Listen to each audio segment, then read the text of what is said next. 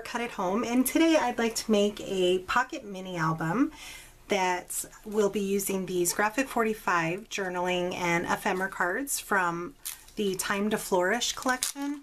This is an absolutely stunning collection. And they go through um, every day of the month. So like for February it's it's got a little Valentine theme and as you can see, these are just gorgeous. So I plan to use a silhouette cut that will hold these 4x6 journaling cards along with photos. Um, and on the back they have where you can journal as well or add a photo if the person chooses to do that. So again, I'm using a silhouette cut. I'll have all the information in the description box along with Cut At Home's blog on the design number and all the products that I use. But I will also at the end of this video share with you how to make the base of this out of paper if you do not have a silhouette.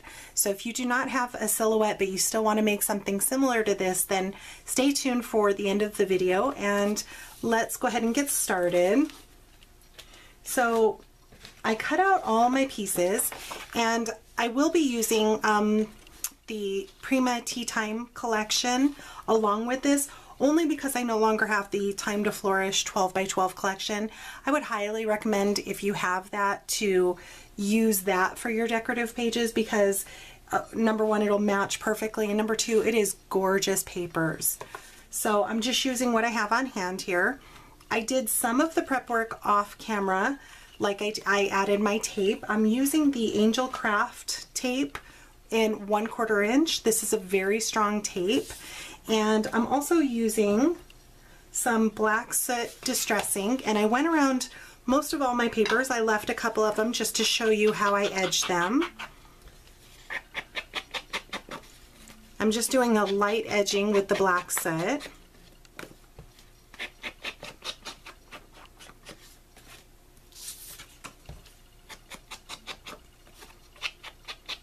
And these are matte pieces for the front of my pockets.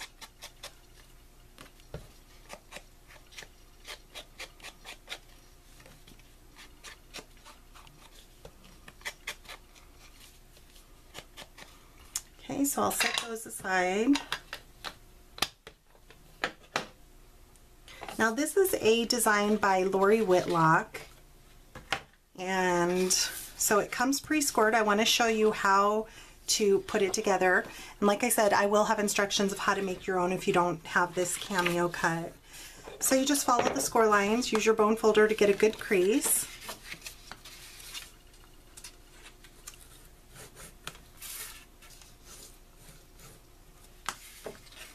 And you do want to make sure that all your pages are folded the same.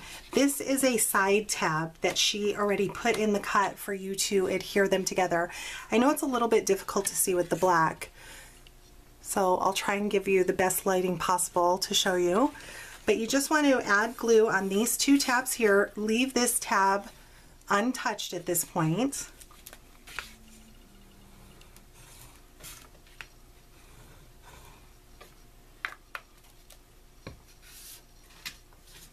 And just make sure that's adhered very well. So now this tab here, it also has a score mark. We will be using this to attach to our other pages. And with her design, um, there are six pockets that you'll be making. And it works out perfect because there's 12 of the um, journaling cards, so I will put two in each pocket. So as you can see, these fit perfectly in here. And you can use any 4x6 cards. Um, I love these Time to Flourish cards. I think what these will be great for is to add photos as well for maybe that month of January with maybe some special dates and some journaling about that month. That's my plans with this. So there are six of these. Let me zoom back out just a little.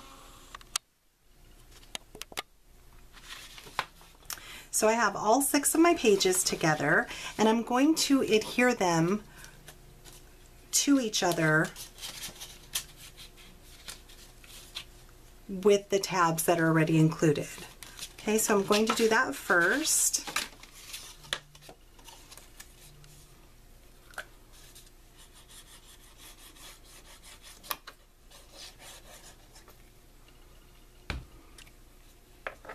And you just want to make sure that they line up very well.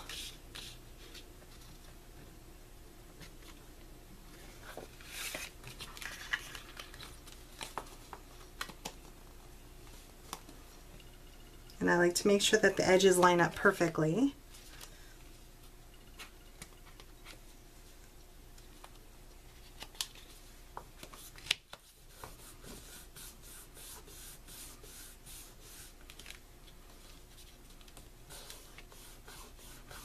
As you can see, that's how they will glue together.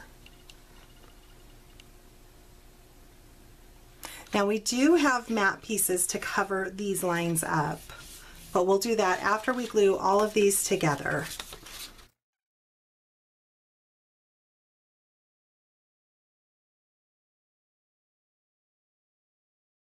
I'm going to add my next three pages just the same way and I'll be right back.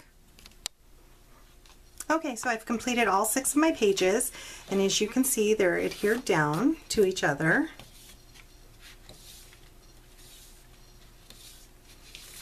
So let me set those aside and I'll give it just a little bit longer to really set up and let the glue dry. Now there, here is the cover of the book, the front and the back cover. And it comes with a bracket edge and it comes with the score marks. And you want to adhere these two pieces together. And it doesn't really matter whether you glue it on top or on the bottom because either way you're going to have a um, cover piece or a mat to cover that tab. So I'm going to adhere it on the bottom.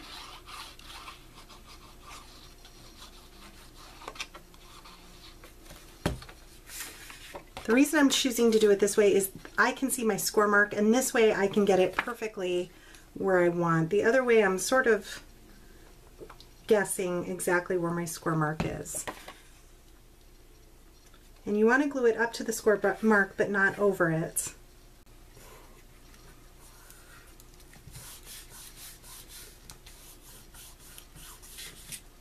So my book will fold like this, and this will be a gusset on the left side of my book and a gusset on the right side of my book.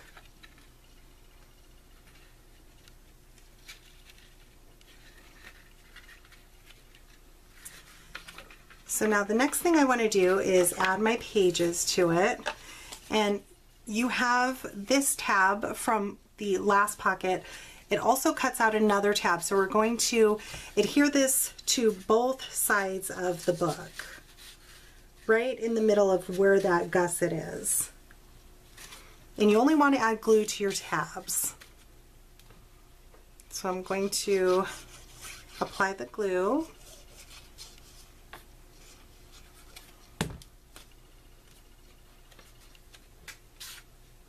And I'm just putting it right here in that spine.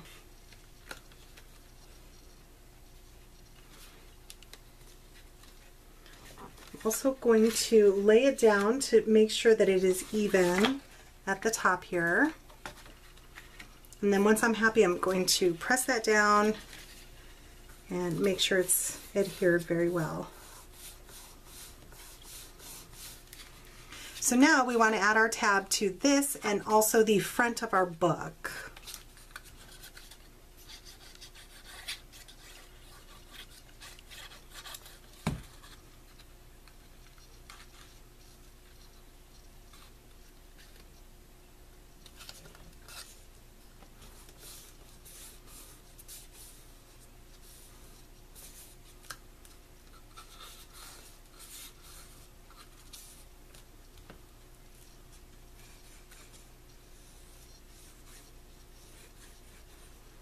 And I do try to not get too much glue on the edge so it doesn't glue onto this page.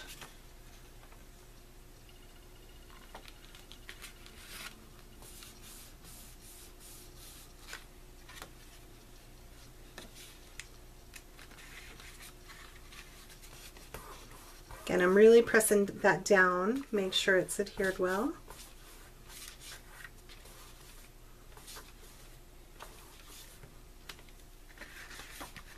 So here is the base of our book.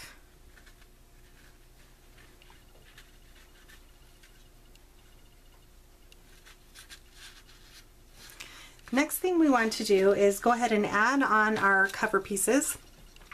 Like I said, I did add glue. I did not, or um, the Angel Craft tape to the edges. I did not add it here because I will go ahead and add wet glue here and the tape on the straight edges. So I will fast forward through this part.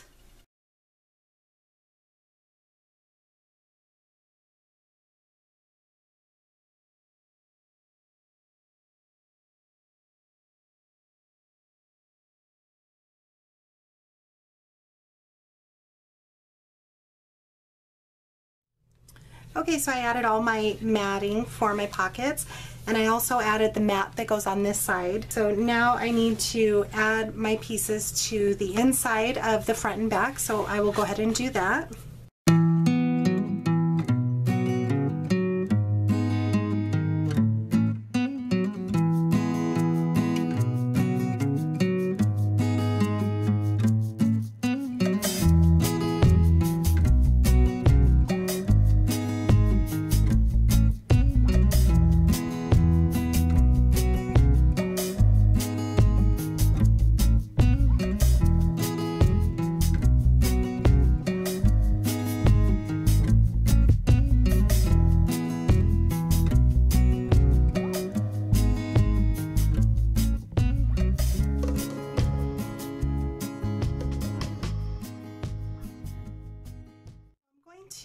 A magnet to keep this closed. You can add Velcro, but I want to add a magnet underneath my papers. That way you don't see them. And whenever I think I'm going to add a magnet, I always add a little note on my piece of paper so I don't forget because I've glued down my papers before and then realized I wanted to add a magnet. So I always do that. So I'll go ahead and use my glossy accents and add my magnet and then my pattern papers on top.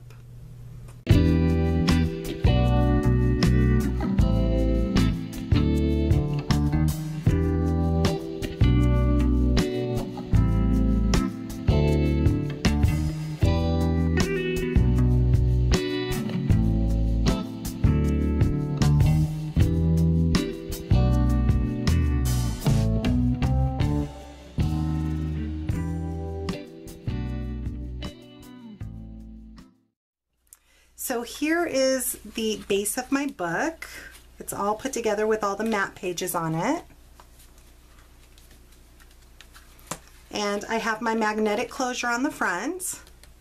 And now I can add my pages into this and then we can decorate the cover. So I'm going to add them um, two at a time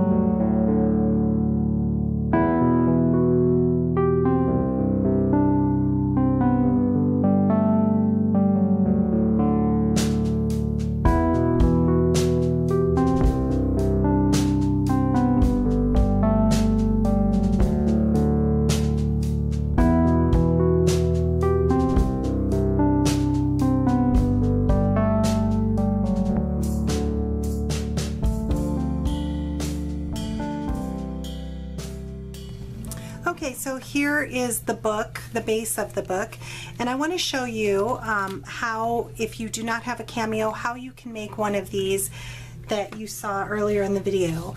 So here is a pocket. You want to cut your pocket to eight and a quarter by seven and an eighth, and I will show you quickly how to, or how I did this.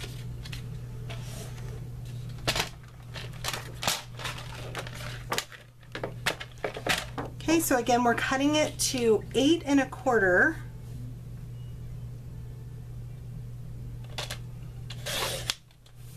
by seven and one eighth.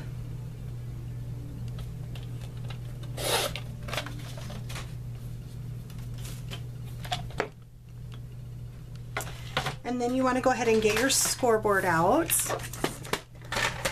Your stylus out. I'm using the one from the Deluxe Flower Shaping Kit. I love this one. And you want to score this at one half inches on both sides of the seven and one eighth side. So I have it to seven and one eighth and I'm going to score it at one half inch and I'm using thick paper so I, or cardstock so I like to do it twice. I'm flipping it all the way around so it's still on the 7 and 1 8 side and I'm scoring it at 1 inch.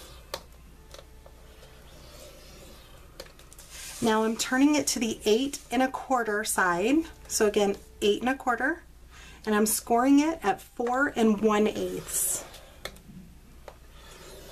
All of these measurements will be on Cut at Home's blog if you need them again. Okay, so let me set this aside. And the next thing you want to do is cut out two of your tabs.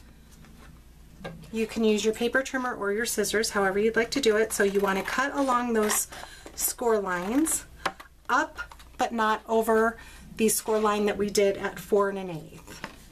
So we're going to do the same on this side as well. Just follow that score mark cutting up to the four and an eighth score mark, but not over. And then I like to take this at a tiny angle, that way it leaves a little less bulk when you fold it. This is similar to how you make an envelope. So again, I'm cutting it at a tiny angle, and this is what it should look like. So again, I still have my score marks and you want to go ahead and fold along those score marks. Give them a good crease with your bone folder.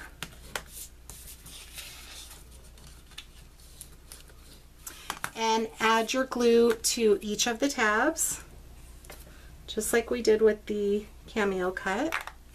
Fold this over and press that down.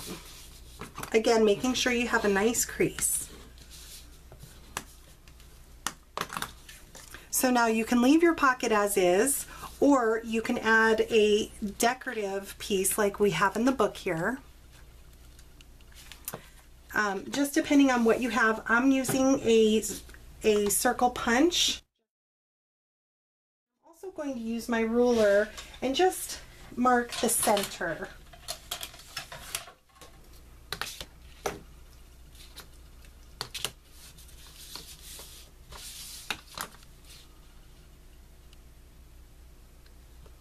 I'll just quickly do this. So I'm just going to mark the center of that with my pencil. And now I'm going to use these marks on either side of my circle punch. That's the center of the circle. So I'm going to line those up with the edge of my paper and try and line up the middle of the paper as well.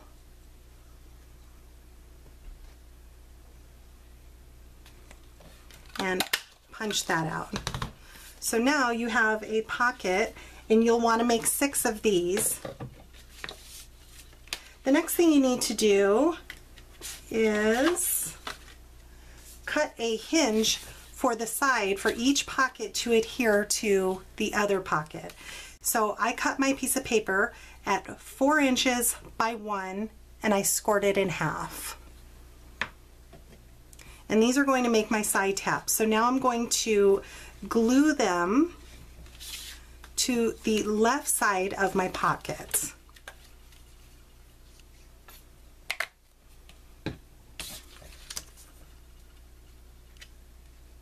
And this makes your hinge to be able to adhere to your next pocket.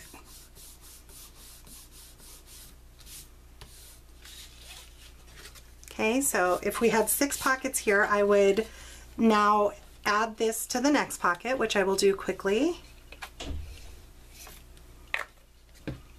And you want to make sure it's lined up.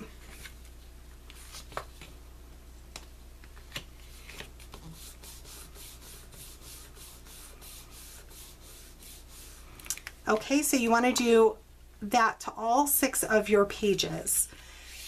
The next thing you want to do is make the outside cover of your book. So you want to cut two pieces. I won't I won't actually show you how I cut these because um, it's obvious how to cut them. But you want to cut a piece eight and a half by four and a quarter from the left side of your eight and a half inch you want to measure up and score it at 6 and 3 sixteenths and 6 and 11 sixteenths. And now if you want to cut this out with a decorative border, you can. Okay, we'll go ahead and fold on those score marks. This is going to be the front cover of your book. The back of your book is going to be cut at 7 and 1 eighths by 4 and 1 fourths. And on the four and a quarter side, you want to score it at one half inch and at one inch. So put it in your scoreboard like this, score it at one half inch and then one inch. Okay, and we're going to adhere these two pieces together. Again, adding it up to the first score line, but not over the first score line.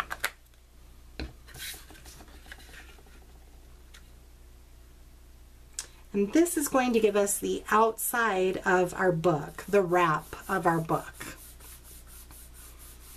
Okay, while I'm letting that sit and dry for a moment, so you need one last piece and this is going to be the one more tab and this will hold your front pocket to the base of your book. So this is one and a half by four and you want to score it at three fourths. Okay, and what you're going to do is add this to the front pocket using some glue.